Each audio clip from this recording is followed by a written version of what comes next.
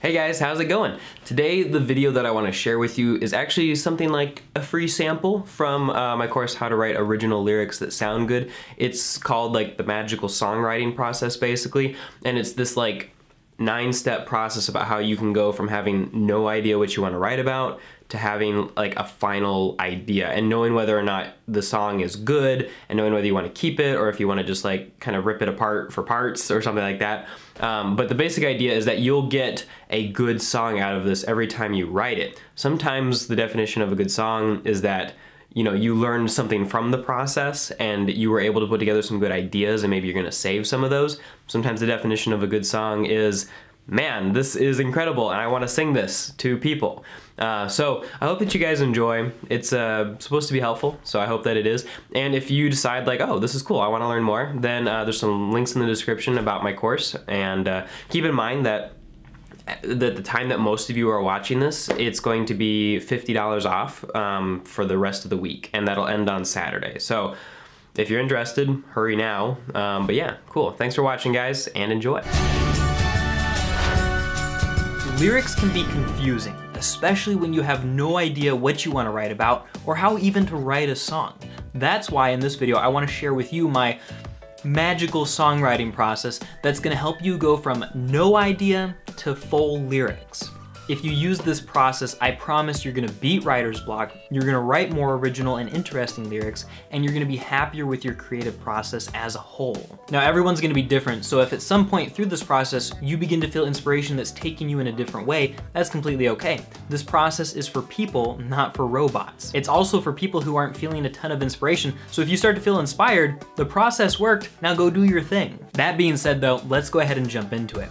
Step one, remember, you have no idea going into this process. You don't know what you want to write about, you just know you want to write a song. Well, there are three processes that I think will help you come up with a song. And remember that a lot of the things that I'm going to mention in this video are going to show up throughout this course. So I may refer to something like I'm about to refer to the process of sound vomit. You may have never heard of it before, partially because I made it up. But that's okay. We'll mention it and move on, but as you go through this course, you'll learn how to do those things. Step one is to begin by free writing, spiderwebbing, or sound vomiting. Essentially, all three of these methods, which you'll learn more about, are about creating ideas, brainstorming, and finding inspiration even when it's difficult. At the end of it, you should just have a mass of words and seven to 10 decent ideas that you can choose one of and go from there. And that's step number two. Choose one of the things that you maybe free wrote about or spiderwebbed or sound vomited and narrow that topic down. It's too easy to say, wow, I wanna write something that's gonna save the world. You need to choose something specific,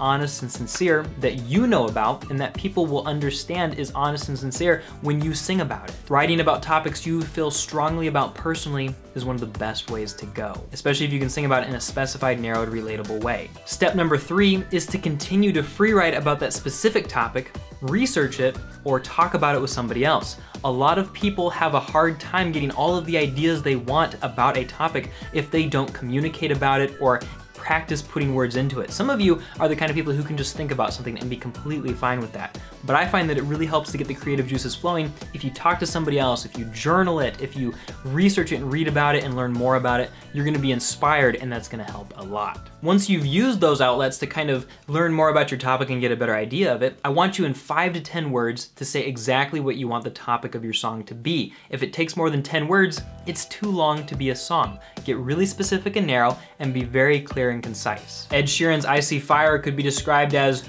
Dwarven brothers await their deaths heroically. Panic at the Disco's song I Write Sins Not Tragedies could be described as a groom tries to deal with his bride-to-be's unfaithfulness. Step 5. Once you have the main idea of your song, I want you to outline it. Use verses, pre-choruses, choruses, bridges, things you'll learn about in this course, and for each one of those stanzas, create another 5 to 10 word sentence explaining exactly what's going to happen in that one stanza. Keep it very specific, don't fall to the trap of trying to put too much into one stanza, make things simple and easy to understand for you, otherwise it'll be difficult for you to write it. You can make it complicated for everybody else later if you want, but for now, you need to know what's happening. Number six, you need to choose euphonic links and sonic thumbprints, something that you'll be learning more about in this class, to create lyric banks and lyrical ideas for how you want your song to sound. What kind of lyrical devices are you gonna use? Rhyme, repetition, alliteration, assonance, all this good stuff that's gonna be what gives your lyrics beauty and a hook keep your listeners listening. Once you've generated a lot of ideas in that category, step number seven is to combine those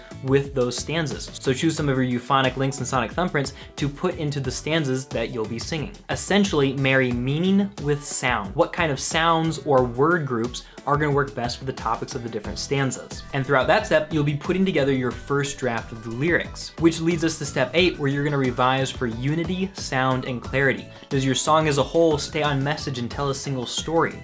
Is it clear? Does it make sense? Do we understand what you're saying? And do the lyrics sound good? Finally, you get to make the ultimate decision in step nine. Do you keep the song? Do you save it for later and come back to it? Or do you decide to pick the bones? We talk about picking the bones in a different lesson, but essentially saving it means, you know, I'm too emotionally invested in this song right now. I don't know if I can be completely unbiased or objective. Sometimes if you just let it sit for a couple of weeks and come back to it later, you'll be able to make better decisions about your song, know what's good, know what needs to be improved, and keep working on it. Of course, the best decision is when you can look at it and say, yes, this is exactly what I wanted, this is a great song.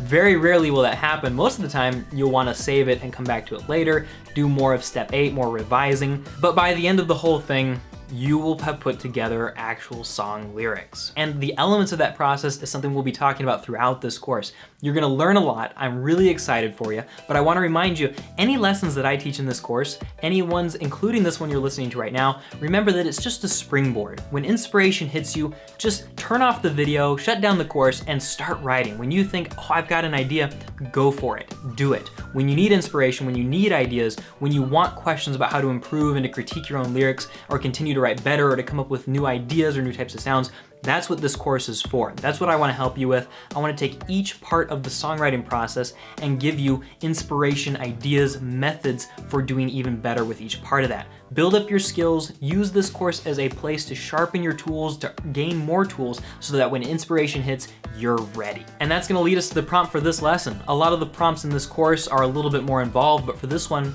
I just want you to think about this process, this nine-step process, get to know it, and know what to expect in other lessons. Once you finish that, guys, go ahead and move on to the next lesson.